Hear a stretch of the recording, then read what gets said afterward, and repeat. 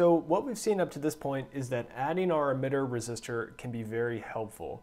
So in terms of our DC analysis, it can help us stabilize the Q point against changes in beta. So oftentimes we would want to have this large emitter resistor value in order to keep that Q point stable. But we've seen that the flip side of this is that this can cause our small signal voltage gain to significantly decrease. Uh, it does have some benefit in that it's also causing that small signal voltage gain to stabilize. Um, so we do have some benefit, but we don't want to decrease that gain too much. So one solution to this, if we do need a really large RE, is that we can use something called a bypass capacitor to bypass part or all of RE. So our solution to this issue stated above is that we can use a bypass capacitor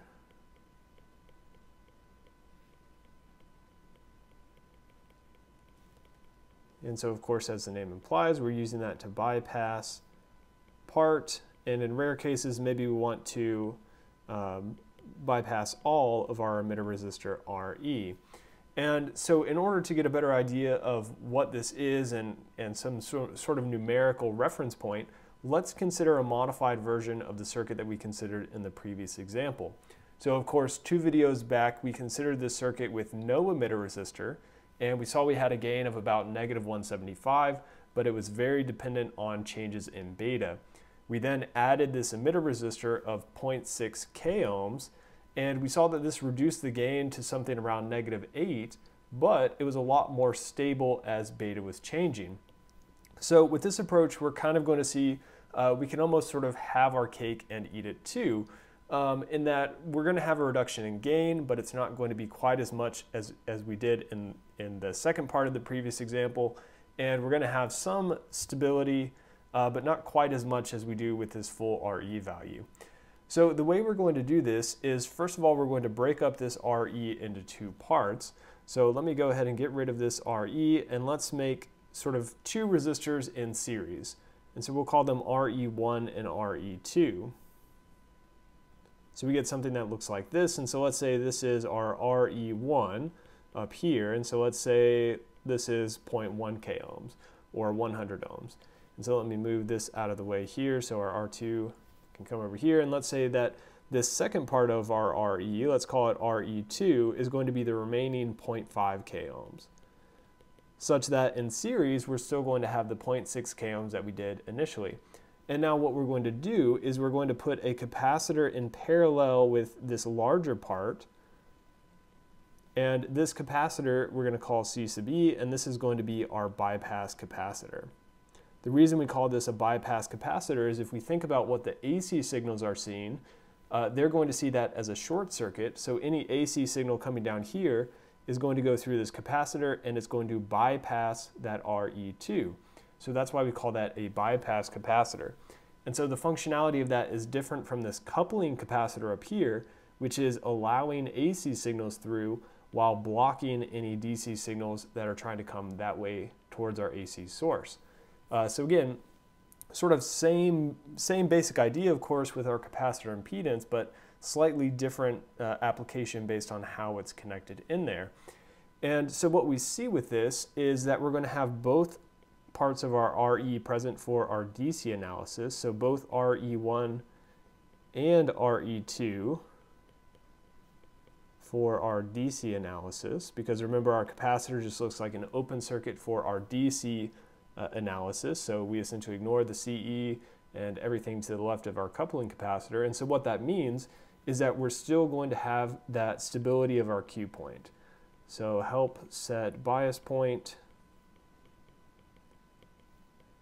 and maintain our DC stability. So maintaining stability of our Q point. And so that's sort of what we want, but remember we don't want that to be reducing our gain too much. And so what we do then is because we have that bypass capacitor, only the RE1 is going to be present for our AC analysis.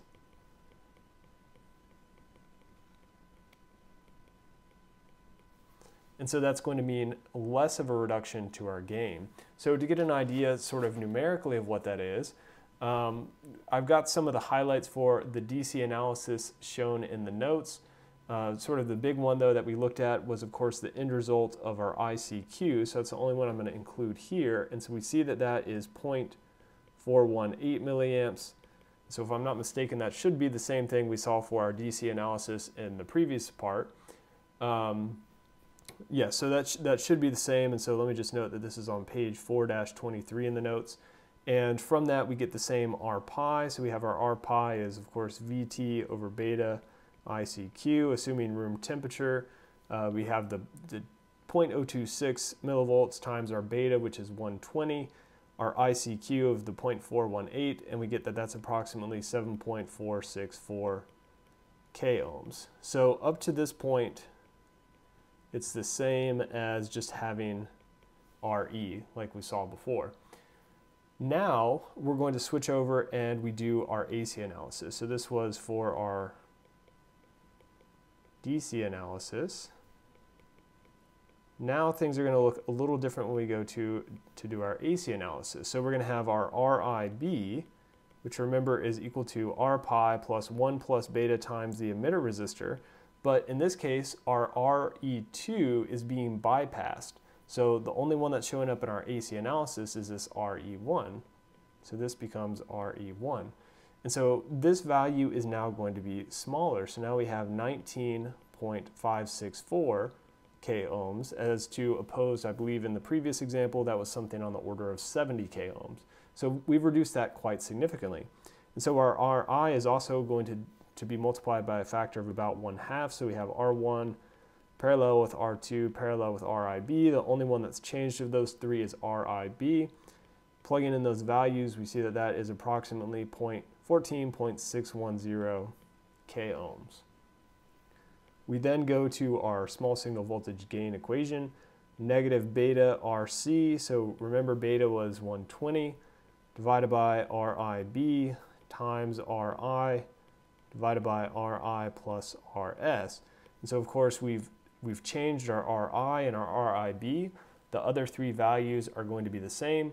If we plug everything in, we see that this is approximately negative 33.212. And so, of course, that is still a lot smaller than that negative 170 that we saw with no emitter resistor. Um, however, it's about four times larger than the negative 8 that we saw when we had the full emitter resistor and no bypass capacitor. So now for the other piece of the puzzle, we can consider what happens as our beta is changing. So initially it's 120.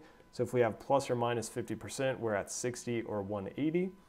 And our voltage gain, excuse me, our small signal voltage gain, so initially it's at 33.2 and if we redo that analysis with these different beta values, we see it decreases to negative 27.8 when our beta is 60, and it increases to negative 35.5 when our beta is 180.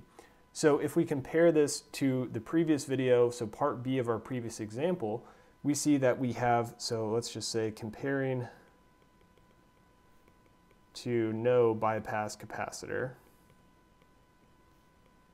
which is what we looked at in the previous example, so part B of the previous example, we can say we have an increased small signal gain, so increased AV, and so that's of course a good thing, but we also have increased sensitivity to beta, which is an, a not ideal thing.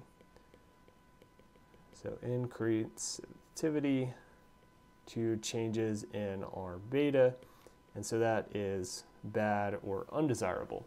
So again, this goes back to this idea of we're always having these trade-offs, but of course we can see with this bypass capacitor, we can kind of reach some middle ground and adjust it depending on our particular application.